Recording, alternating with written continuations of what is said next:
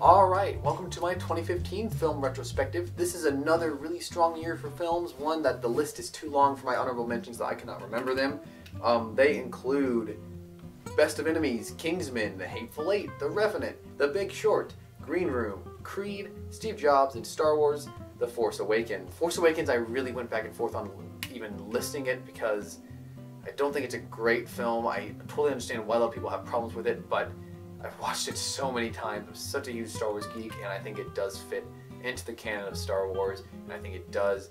Doesn't quite match up to the original three, but I think it has a lot going for it. I really like the good pieces of those movies, so I, at the last second, added it and um, doing a little flair for Star Wars. My favorite bad movie from this year is Pixels, a movie I saw in theaters and really hated, but I don't think I hated it as much as everyone else. A movie that I was really looking forward to because I love the short film that it was based upon, and obviously Chris Columbus, is a really great director, and I see him in there. I see his direction in this film.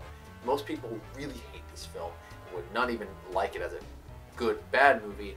I think it kind of works because you have you have some odd choices in there, like making Kevin James president of the United States, that are just so wacky that you kind of like don't know what you're seeing, but like, you know what, I'm enjoying this, even if it's good or bad. Um, people like Josh Gad, Peter Dinklage seem to be having a lot of fun with it. And it's hard not to like a performance where someone is having fun. And obviously, uh, Adam Sandler just checked out by this point, but who cares about him? A lot of the visual effects are really good. There's actually some legitimately enjoyable action in this movie.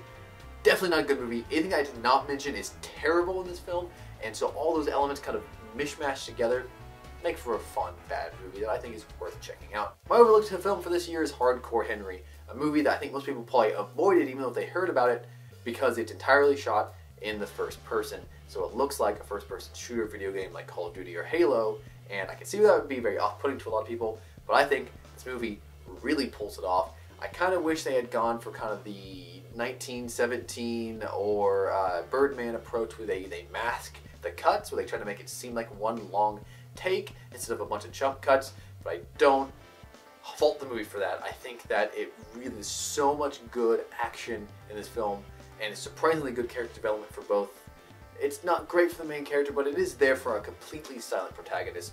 Also, for Sharlto Copley, his performance alone makes this movie a lot of really cool practical action in this movie, a lot of cool practical effects, and you know the story's really lacking. The, the villain is very one-dimensional, though I like his performance.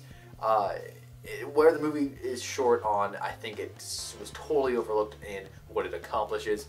And I think if you like action, you like first-person shooters, this movie is totally dope, and I recommend you checking out. And finally, we get to my favorite movie of the year, which is Mad Max Fury Road. A movie that's immensely popular. Everyone proclaimed that it was the greatest action movie of the 21st century when it came out, and it has not slowed down on its popularity since. This movie is widely loved and I love it too. I grew up loving the Mad Max movies because my dad liked them a lot. He grew up with them, and I'm not a huge fan of the very original one because it's so weird, but I like Road Warrior a lot. I like Thunderdome for the good pieces of that movie. I like the character a lot, so I was very much looking forward to this movie. If you go back and actually watch my original review of it, which is still on my channel, I liked it, but didn't love it. But the more I watched it, there's so much under the surface of this film. It has a lot to say. I think about this movie all the time.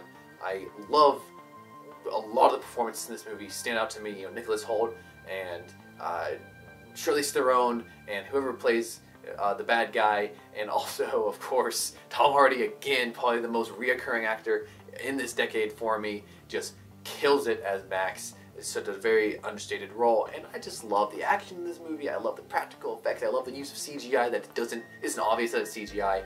I just like the entirety of this film. I think it's a really smart film that has a lot to say, and never seen it, you gotta check it out. And that's all I've got for 2015. Let's move on to 2016. All right, welcome to, uh, and I really enjoyed a lot of these films, and I am just rambling. I need to restart. People's opinions on these movies. Hold on, weird shadow. No, okay.